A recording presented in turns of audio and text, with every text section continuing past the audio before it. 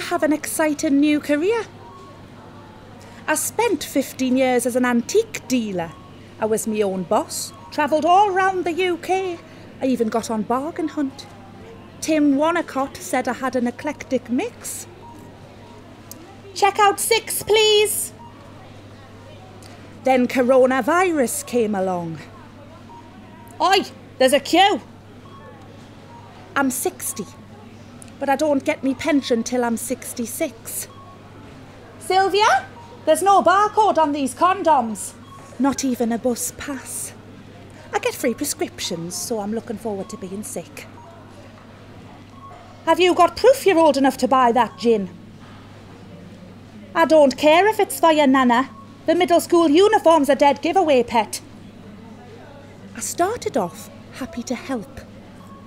On a four week contract. Oh, they'll keep us forever, they said, but then head office had to let us go, blah blah. Not selling enough toilet rolls anymore. No, buy one, get one free does not mean you buy your cucumber and you get your four cans of special brew for free. Then I went to Feeding the Nation on a four week contract. I'm still there five months down the line and loving it. You see all sorts here. Uh, no, you can't just pinch a little bag. You can pay 30 pence for a bag for life. I don't care if you're 83. You still pay 30 pence. It's the life of the bag, not yours. Mind you, it's winter and I still haven't got my uniform jacket. I did get a badge saying that I was a key worker and I'd worked all through the COVID pandemic. But that badge doesn't keep us warm. You just get pneumonia instead. I don't care how they do it in Waitrose. You pay for your coffee here. We wear masks now. So you can mutter what you really think and customers haven't got a clue. You could have told me that you dropped the packet of reduced squid and it was leaking, madam. I now smell like a tomcat's todger. Customers say, Hello, Leslie. And I can't remember if I know them or if they've just read me name badge. I do smile in case I'm related to them. We all swapped name badges the other day. I was Keith, and me mate Scotty on the cafe was Sharon all day. Nobody noticed.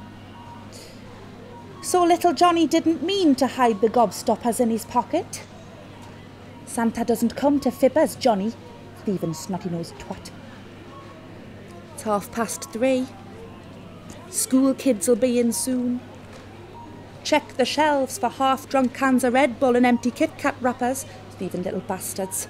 Yes, Mr. Thompson, of course I believe you that the seven bottles of sherry and the TENA Lady are for your neighbour. They all ask the same questions.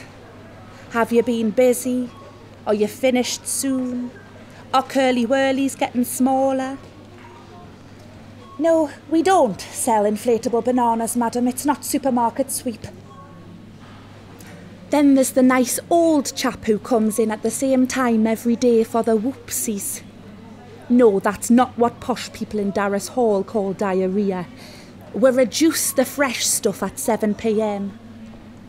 What on earth is a pensioner going to do with eight vegan quiches, two pounds apiece pudding and a pomegranate smoothie? You probably get a dose of the whoopsies. Oh, please don't take off your mask and lick your fingers to count out your fivers.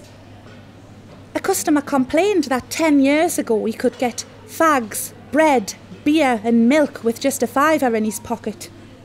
I said we didn't have the CCTV back then to catch him shoplifting.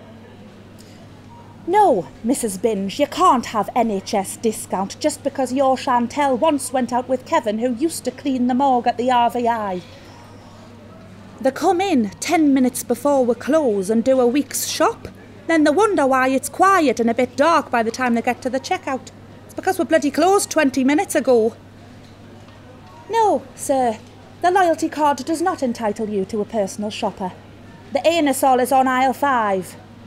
Bottom shelf. So, I've swapped me antiques business for the beep beep of a shop till. Other supermarkets are available, but this is more than just a job. Goody. Break time. I need a pee. Can you not see me red lights on? I'm going for a piss.